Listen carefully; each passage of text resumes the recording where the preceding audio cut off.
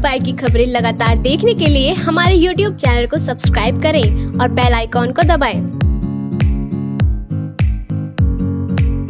इस खबर के प्रायोजक है दी अध्ययन स्कूल शताब्दी नगर, मेरठ कोरोना के चलते हुए लॉकडाउन में गरीब व असहाय लोगों की मदद के लिए तमाम हाथ उठ खड़े हुए हैं इसके चलते सड़क किनारे गरीबी में गुजर बसर कर रहे बहुत से लोगों को इतनी सहायता राशि अथवा खाद्य सामग्री मिल गई है कि उनका कुछ माह का राशन पानी चल जाएगा। लेकिन ये लोग अभी भी असहाय के असहाय बने हुए हैं और ऐसे में जिन लोगों तक यह मदद पहुंचनी चाहिए, वहाँ तक पहुँचते पहुँचते यह समाप्त हो जा रही है। बीते दिवस कुछ ऐसे ही वीडियो मेरठ में सामने आए जिसकी वजह से समाज सेवियों के कदमों में ब्रेक लग गया।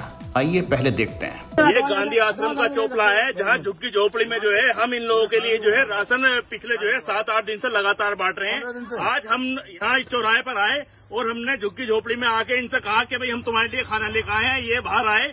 जब ये बाहर आके इन्होंने जो है अपनी लाइन लगा ली तो हमने इनकी झुग्गी झोपड़ी में जो है अंदर घुस के देखा तो इन्होंने जो है मुर्गे की जो है सारी जो है पूरी पराते जो है बड़ी बड़ी कढ़ाई चढ़ा रखी है। और दिखाऊँ? हाँ जाओ जाओ। और ये ये स्थिति जो है आपके ये खाना सारा नीचे पड़ा था। नहीं नहीं। ये ये सर ये सरकारी पैकेट है। सारे ये सरकारी पैकेट है।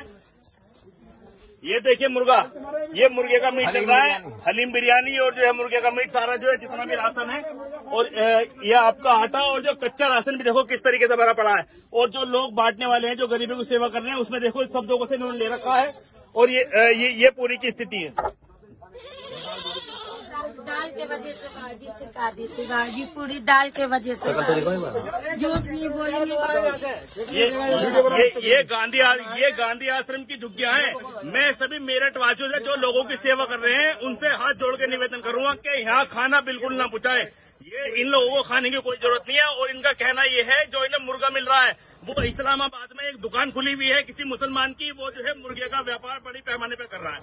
इसी क्रम में झोपड़पट्टी में रहने वाले कुछ लोगों को जुआ खेलते हुए दिखाया गया है। यह वीडियो कब और कहाँ कहा यह नहीं कहा जा सकता लेकिन इन लोगों के पास नोटों की गड्ढिया देखकर अंदाज़ा लगाया जा सकता है कि कम से कम ये तो समाज सेवियों की मदद के हकदार नहीं है। आइए देखते हैं।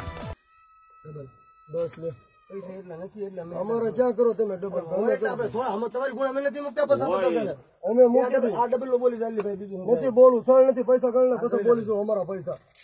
સોળની વાસોની ખોટી. આવડા બહુ શોખીન છે.